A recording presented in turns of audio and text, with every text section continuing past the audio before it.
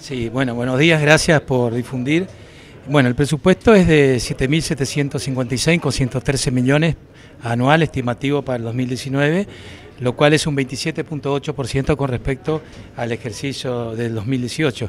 Siempre nosotros decimos que es un, es un presupuesto estimativo para el cálculo de la provincia. Como siempre nuestra provincia es pionera en la presentación del presupuesto eh, a nivel nacional, eh, fíjese que hoy se empieza el presupuesto nacional y nosotros ya venimos con esto, con todos los entes tácticos y ministerios anteriores. Eh, lo que hay que aclarar es que es un presupuesto estimativo. Eh, nosotros pensamos que eso va a ser, fue aprobado por, por el Poder Ejecutivo, pero estamos preocupados un poco por todos los vaivenes de la economía, que realmente uno presenta algo estimativo y el año que viene va a ser un año más duro, creo yo, que este año, así que ojalá podemos eh, ejecutar este presupuesto en tiempo y forma. ¿Cuáles serán las principales líneas de acción? La línea de acción, como siempre yo digo, es nuestra obra social. Nosotros vemos al afiliado como una persona biopsicosocial.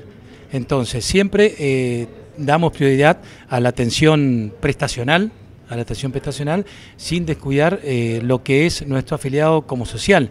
Este, principalmente nuestro objetivo es tratar de, atender bien al afiliado en tiempo informa, ya sea en la parte prestacional, en todas las delegaciones. Tenemos 70 centros de atención en toda la provincia así que estamos distribuidos en la provincia. Es eh, la única obra social del país que tiene 14 farmacias propias, 5 laboratorios para atender a nuestros afiliados. Eh, lo que nos pide nuestro gobernador es estar cerca de la gente, entonces trataremos de seguir en la línea nuestra de estar cerca de la gente y solucionar los problemas del afiliado. Ese es el principal motivo por qué estamos nosotros acá. ¿Mm? ¿Algunas áreas se van a ver afectadas teniendo en cuenta este panorama económico? Y es una respuesta difícil de contestar, porque nosotros eh, tenemos porcentaje de coberturas en medicamentos, en prótesis de altísimo costo. Eh, fíjense que nosotros estamos cubriendo prácticamente el 100% de la medicación oncológica, el altísimo porcentaje eh, de nuevas medicaciones de alto costo y el 100% de prótesis nacionales e importadas, que no es lo habitual de cobertura en las obras sociales.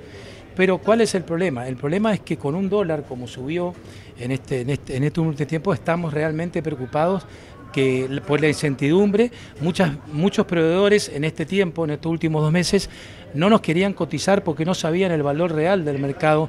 Así todo nosotros hicimos efectiva la provisión de prótesis y medicamentos de alto costo, pero bueno, estamos un poco preocupados por estos vaivenes que eh, somos muy dólar dependientes en los insumos, insumos de laboratorio, insumos de prótesis, insumos de medicamento. Entonces, bueno, esperemos que esto se estabilice para dar tranquilidad a la provisión.